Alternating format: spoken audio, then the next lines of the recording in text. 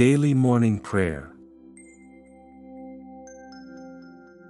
Dear Lord Jesus, as I begin this new day, I come before you with gratitude for the gift of life and the opportunities it brings.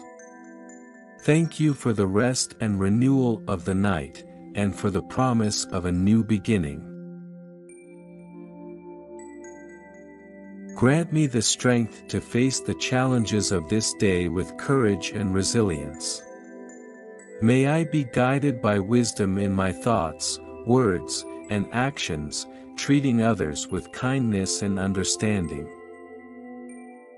Bless my family, friends, and all those I encounter today. Help me to be a source of positivity and encouragement, making a positive impact on the lives of those around me. Grant me the patience to navigate through any difficulties that may arise, and the grace to appreciate the beauty and joy in the simple moments. I surrender my worries and fears to you, trusting that you will provide guidance and support.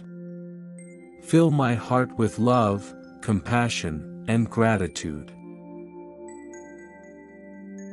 May this day be a reflection of your light and a step forward on my journey of growth and purpose.